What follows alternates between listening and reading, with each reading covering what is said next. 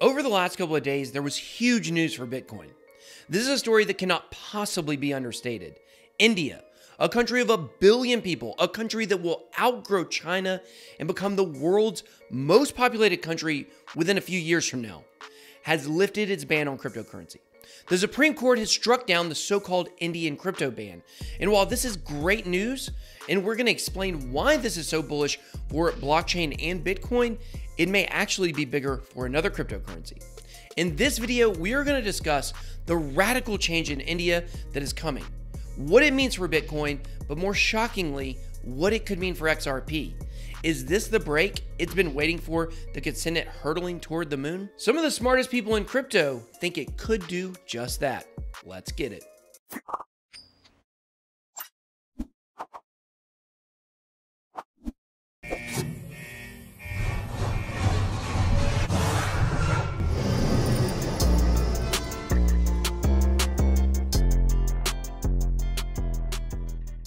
Hello and welcome to BitBoy Crypto, your one-stop shop for all things related to Bitcoin and cryptocurrency. I make videos on this channel almost every single day.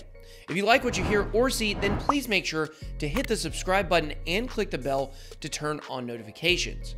If you would like to take the conversation further, then please join my Telegram group, the Bit Squad. All right, guys, today we are going to be talking about the incredible changes in India, what it means for the world at large in terms of Bitcoin, and the sneaky way that this news could be the linchpin to the XRP bull run its hodlers have so desperately been waiting for.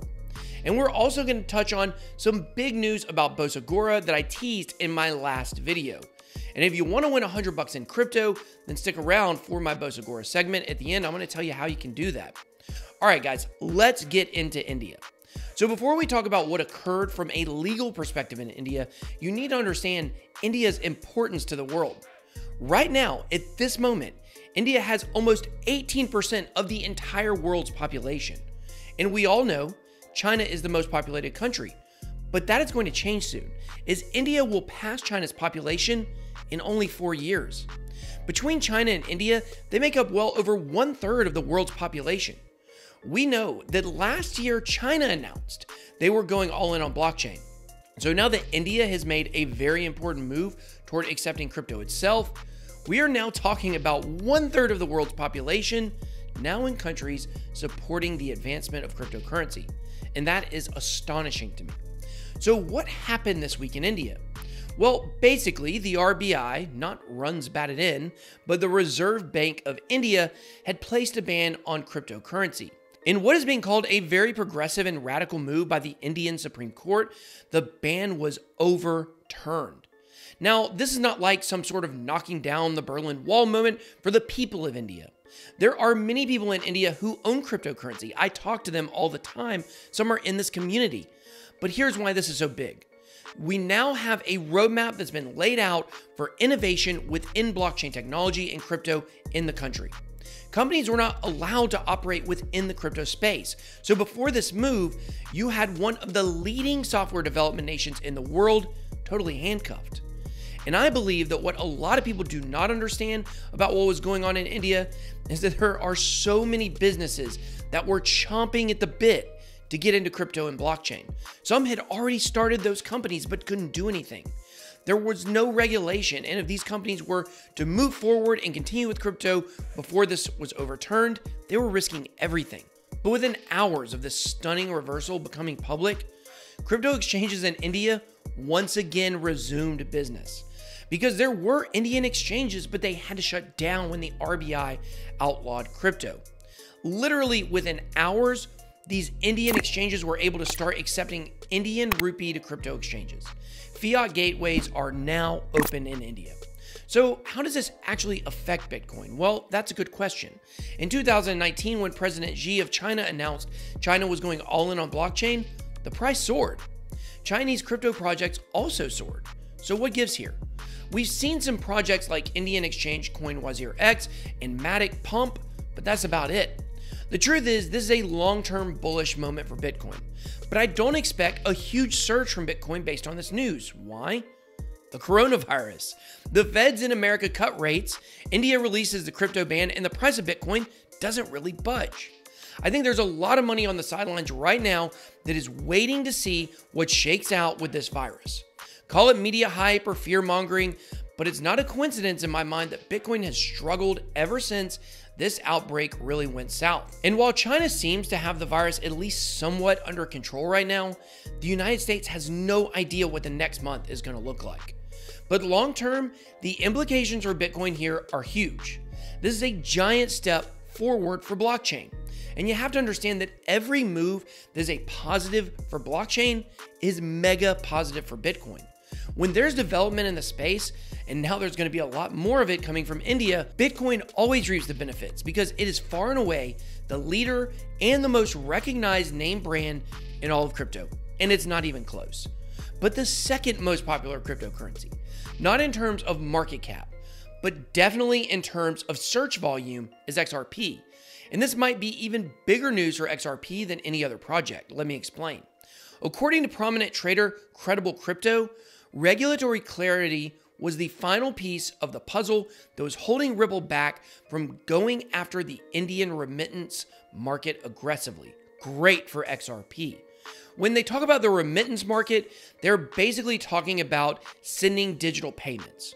So basically, this was the green light that Ripple needed to go after 1 billion people who are going to go from unbanked to banked in India.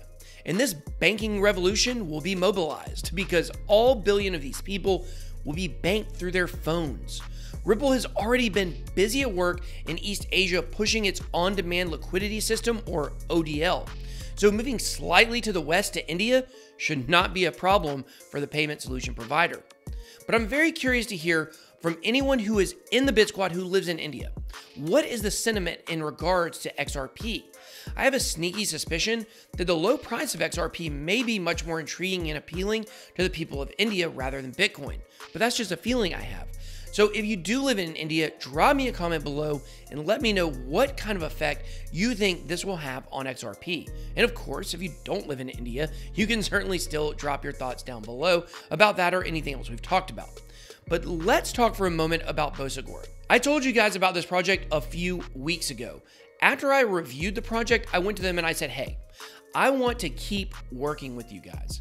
I worked out a deal with them where I'm going to be covering them a time or two per month for the foreseeable future. But I've got a feeling that it may end up being much more than that. If you watched my live stream last night, I went into all the reasons why I am very bullish on this project. But let's take a look at what has happened since I did the review and told you guys how much I liked it. So, over the last two days, BOA, which is the token, has more than doubled its price. Oh, yeah, and it did this while Bitcoin was not even doing anything. So, why did this project finally pump? Well, if you've seen me chatting about this in my Telegram group, you'd have seen me say that the only thing the project really was lacking and needed was a better exchange listing. I talked to the team about that very thing a couple of times. They told me they had a few things in the works, but today, one finally came through. They are now listed on BitHum, which I prefer to call BitThumb. It's kind of a weird spelling. But look at the volume on there today. Absolutely incredible. I've been telling people to jump on this project because it is going places.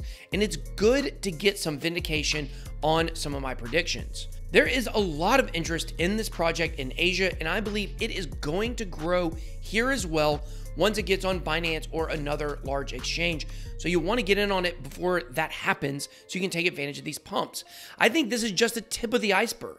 And while I certainly expect some retracement, I think if you don't get in on this one, this is one you're going to regret.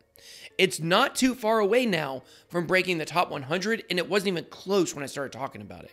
And remember, no one else was talking about this project that I know of. But remember, guys, I also have a $100 crypto giveaway I'm doing. All you have to do is join my Telegram group, Bosagora's Telegram group, and drop your Telegram handle in the comment section of my last video. I'll put all of the links in the description so you can do that easily. But I hope you guys enjoyed this video. This India news is absolutely huge and a big win for the whole blockchain space. Now, some people are still wary of the Indian government because it's very wishy washy. But at bare minimum, this is a great positive step for bringing crypto to India in mass. If you did enjoy this video, please make sure to smash the like button and hit the subscribe button to become a member of the fastest growing community in crypto, the Bit Squad. Thank you so much for watching. Have a blessed day. BitBoy out.